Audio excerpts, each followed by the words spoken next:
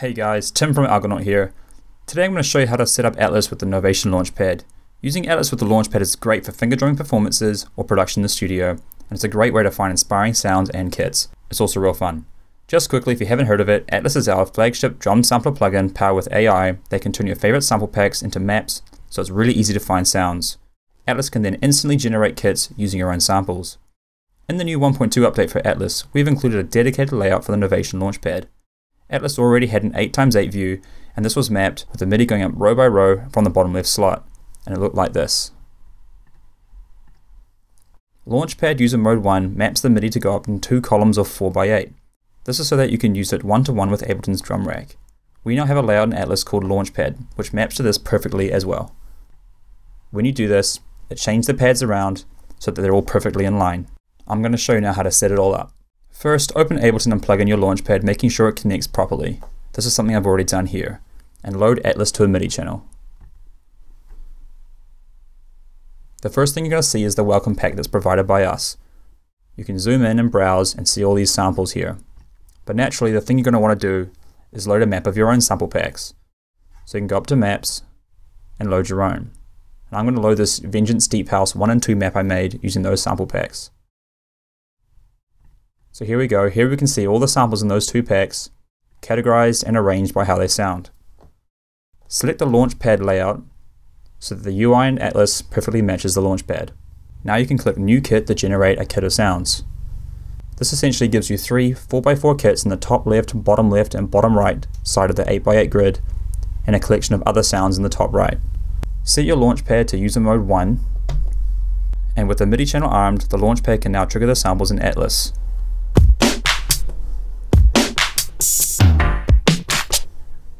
If you go into Settings in Atlas, you can map the New Kit button to a MIDI note. Here I've set it to B6, which corresponds with the MIDI note on the bottom right Scene button. So now when I press B6, or this button, it will change the kit out, like so.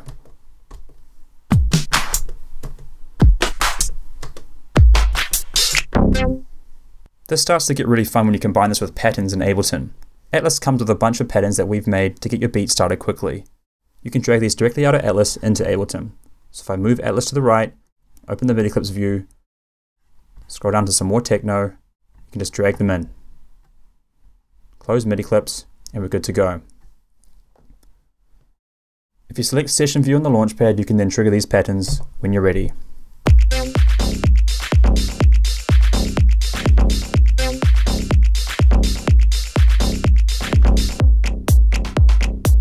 If you get bored of the kit, you can just change it with one button press. Go back to user mode 1 and hit that bottom right scene button.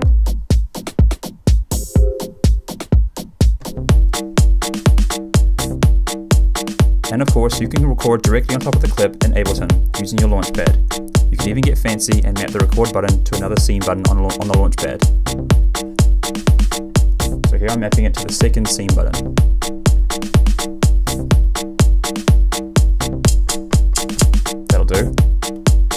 Record.